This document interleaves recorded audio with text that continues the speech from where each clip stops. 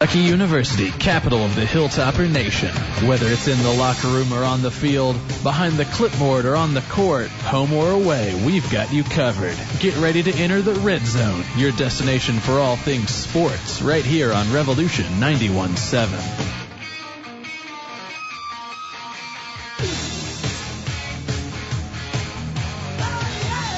It's that time of the week, guys. It's Wednesday. Welcome into WKU Red Zone. Where, oh, my bad, Billy. It's just a habit. Oh, Josh, we're doing something a little bit different today.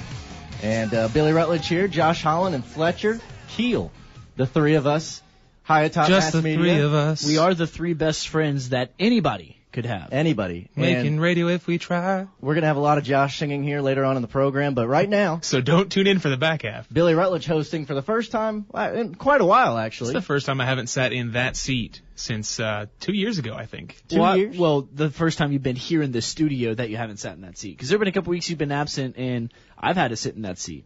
So It's awful. And the sorry. o- uh, yeah, the, it was pretty bad. So the overall arch of things, you haven't sat in that seat for a while. But in terms of being in the studio and being on air, yes, it's been about two years. Billy Okay. Segue. We're sitting in the studio right now, and we got a lot to talk about. WKU Sports, Miranda Kramer on the mound again tonight against Louisville. Baseball right now playing the second game against Austin Peay. We're going to talk a little bit, a little bit more about that Man, that Louisville game, Billy. in the program. It, it, it took it took Miranda Kramer five innings to get a strikeout. That's That's the we, we- record.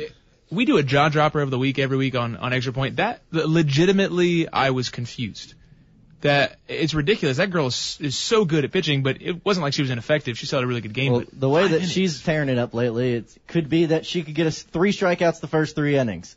The way that she's been playing. But first on the program, the WKU baseball team coming off a sweep. They were swept against number 16 team in the nation, Rice. Also, they came off a 65 walk-off victory against Austin Peay last night.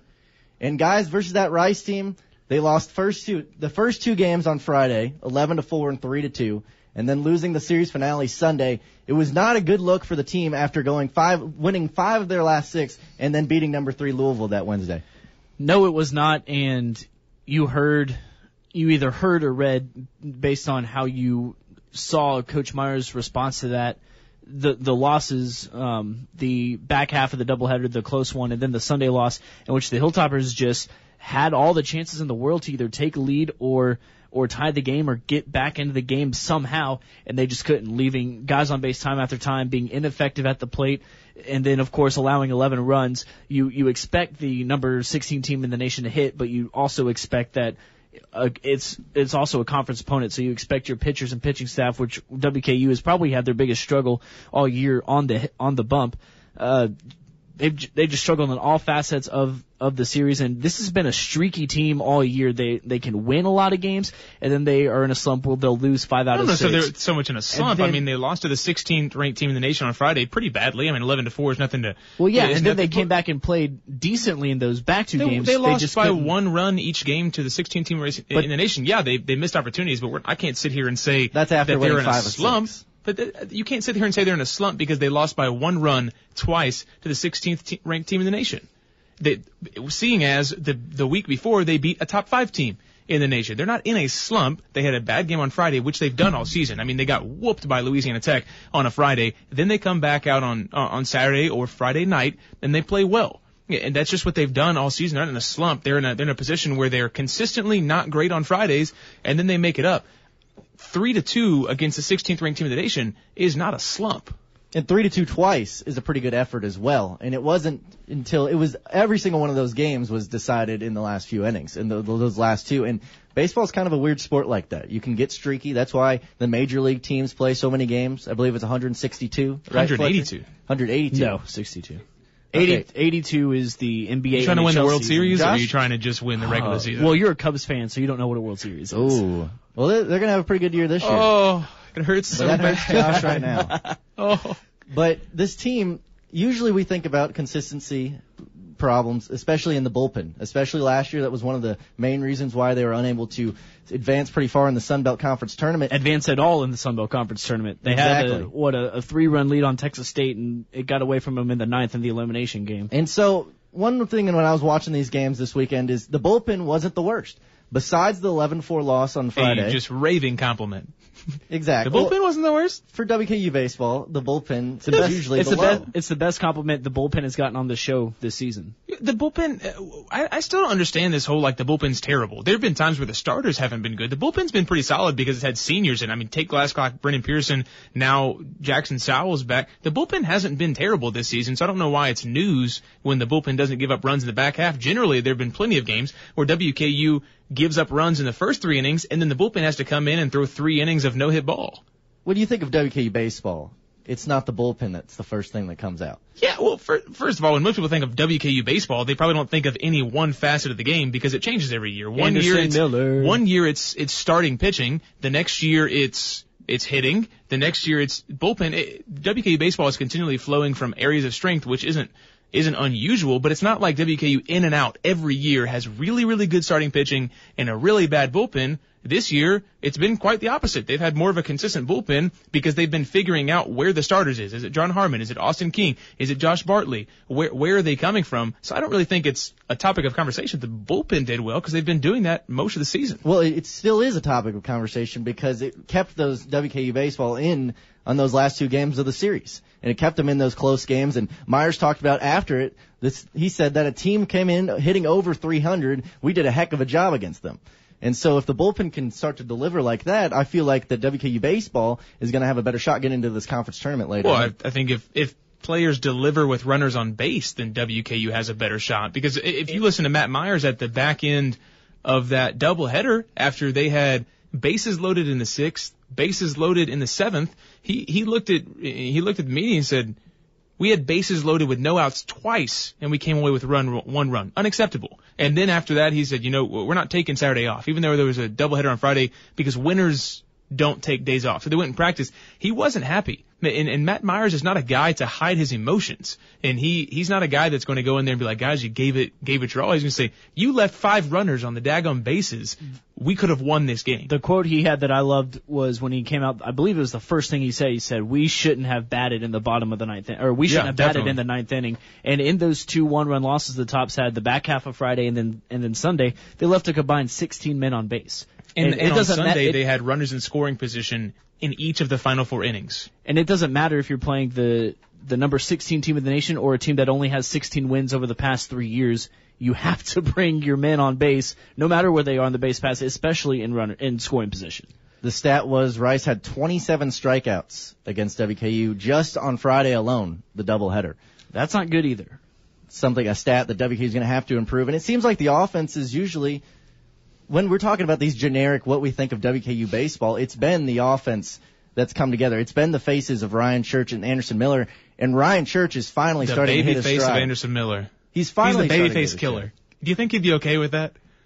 The baby face assassin? The, the babyface assassin probably more than the babyface killer. I think someone could take babyface killer and twist that into something that you didn't mean it to be. But that's about inflection. The way I inflected that. I like good. babyface assassin. Babyface better. assassin for Anderson. I actually got to watch his walk off from my dorm room. I live down in Douglas Keen in the side facing the parking lot, so I can, if I lean a certain way into my window, I can see through over to the Nick, and I saw him hit that single in the left field, and just by the way it reacted, I knew, and I could see everyone come out and run out of the dugout. It's something you don't get to see from really the press kind like box or sitting even in up the on the uh, on the Rooftops at buildings. Wrigley. Yeah, at Yeah. Wrigley. I'd love to do that. Except for it's a dorm room in Western. It's basically the same thing. Well, that walk off came in a 6-5 win over Austin Peay. Or yesterday, they're Mm-hmm. playing the second game of the series against Austin Peay. tonight at Austin Peay. They're Right playing now, right actually. now up four to two in the fourth. Four to two. There's the update uh, here on the red zone. Hudzina and Diedrich bring home two more runs in the third, I believe, and those two guys last night both had two run jacks. Tonight they're bringing home runs, and it's cool, cool to see for Philip Diedrich because he offensively was struggling a little bit at the beginning of the season, similar with Ryan Church, and now you know Ryan Church has that six for six game. He kind of picks it up. Diedrich goes goes yard last night. He's got a couple RBIs tonight, and then Hudzina's just been a monster. So that that offense continuing to to develop is really nice to see for the Hilltoppers. Yeah, definitely the kind of the three-four lineup where you expect that production, especially with Western rolling with Anderson Miller at the one spot and Leif Clarkson, who's been arguably one of their best hitters at the nine spot, so Anderson Miller can start to drive him runs. I always love that when when coaches put one of their top three or four on basemen at the nine spot. Yeah, that that was something that I believe Tony La Russa started doing. Well, Tony La Russa made don't it like that known guy. With the Cardinals, he As a would Cubs put fan? yeah he would put the because in the National League, of Just course, like 'em. you put the the pitcher who's your worst hitter at the nine spot. That way you get everyone through, and then it's your last hitter kind of as a throwaway out. Then you get back to the top of the order. Well, what La Russa would do is he would put the pitcher eighth. That meaning, and then putting another pretty solid on base guy ninth, and it's almost as if you have two leadoff spots. Because how many times in a game uh, is it late in the game, you're down by a run, and then it's going to be the eight, nine, and one, or the nine, one, and two hitters coming up, and that gives you an advantage if all three of those guys do what they're supposed to do and, and get on base in any way they can. I think it was Joe Maddon for the Cubs this season that actually put his pitcher batting in the eighth spot. Yeah. So Joe Maddon has picked it up. A lot of When is a uh, when is a, a manager going to be just you know courageous enough to put a pitcher in the three spot? I mean, Probably if there's a good never. enough hitter. probably Carlos never. Zambrano Exactly, that's what I was thinking. I mean, he used to slug the ball. or a strikeout. Both. Every time. He had a Remember, te- do you he had a guys remember tantrum every time? opening though. day two years ago when Clayton hilarious. Kershaw not only threw a complete game, like one run game, But had the but also, RBI. but also hit a home run in a one nothing game. That was awesome. I mean, that's just a do-it-all player right there. Baseball Yeah. stats. But that walk-off by Anderson Miller was the first walk-off for Western since Anderson March Miller, 2nd of right? 2014 in the Keith LeClair, Keith LeClair Classic against Pittsburgh. Not sure if it was Anderson Miller. No, it was Anderson Miller had the uh, the go ahead or the game tying home run uh, a few weeks back in Lexington. Uh, he's just been clutch late, Uh, Yeah. and so it wasn't a walk off. But the dude, you put a bat in his hands in the bottom of the ninth or uh, to tie the game up. Dude's clutch. Also, I wanted to say it was the first walk-off at home since Trevor Lowe cranked that solo home run in the 18th inning against Kentucky. Oh, wow. We all we all remember that game very well. Chad Bishop of then the Bowling Green Daily News, now with WBKO, came into the Bowling Green Ballpark press box, sat right down next to me, said, "Please don't," or he said, "Please don't let us go 30 tonight. We got to 15 innings." I said, "Halfway there, Chad. We'll- we finished it in 18." in that game versus Austin Peay. A big player came in out of the bullpen. We talked a little bit about it earlier. Josh didn't mention the name, but he said the names. But Ben Morrison, the guy's been clutch. The man. hometown kid. He has been clutch. He's stepped in that closer role that Ian Tompkins left after this year, and he struck out the side in the ninth and the tenth innings, and really gave WKU a chance to win this game. And he's really come in as the WKU closer position. Yeah, and he it's funny to hear Matt Myers talk about him because he's not the polar opposite because he's a good pitcher, but the way he attacks the strike zone is just so much different than the way Ian Tompkins did. Myers would talk about his heart rhythm basically when he had to deal with Ian Tompkins because the guy would come in and it'd be a three-one count with the bases loaded and he'd strike the guy out, or he would he would walk two and strike a guy out, and it was this electric feeling when when Ian Tompkins was Ben Morrison, kind of a quiet guy, just walks up there, throws strikes, gets people out. That's it. Yep. Ben It- Morris. it- there's no there's no flash around it. He just goes up, throws strikes, get people out, and he's a sophomore that has a chance to be a really really good closer. I, don't know what their plans are for him in the future, but if he stays in this role for two years, the guy's really really good at what he does. Ben Morrison from Bowling Green, actually a part of the draft class with Josh Bartley, who's also from Bowling Green area at South Warren. And, and the closer role is a bit different in college. It's not like in, in the pros, mostly because of the inconsistencies that you're going to find with that type of young arm. And then, of course, you're going to have a game where. Because in college, the bullpen is generally reserved for guys that are almost there starter wise. Yeah. Like your your middle relief guys, your setup men, and even sometimes your closers are the guys that are hopefully future going to be your weekend guys in college. But Yeah. It'd be interesting to see if that's not the case here for Ben. Yeah, and it and the bullpen sometimes you do need a bullpen to go. You only have however many arms, and you want to use one of them for an inning if it's an 11 to 4 game like the Hilltoppers found themselves in that first game Friday. But uh, it will be interesting. And Matt Myers comes from a pitching background. He was the pitching coach here before being or before taking the reins as manager. And so we'll see if he identifies what he has specifically with Morrison, and if Ben keeps rolling in this closer position. He might just stick him there for the next two years. Well, WKU baseball in one of the toughest stretches, or just finished up one of the toughest stretches that Matt Myers has said he's ever had here at Right. WKU baseball. Said it was one and of that's the saying something because he loves schedules. to overload that non-conference schedule with a ton of difficult opponents too. So having him say that in the middle of conference play is something to be said. So WKU baseball nearing the end of the regular season. They got a few games coming up. We're going to talk about that next after our first break of the show. If you got a question, tweet us at WKU Red Zone and we'll answer it on air. We'll do Why our is best Billy hosting? not to embarrass ourselves. I'm hosting because Josh didn't feel like it today, I guess. Oh no no no! I'm just trying to prepare you for the future, brother. Preparing for the future here on the WKU Red Zone.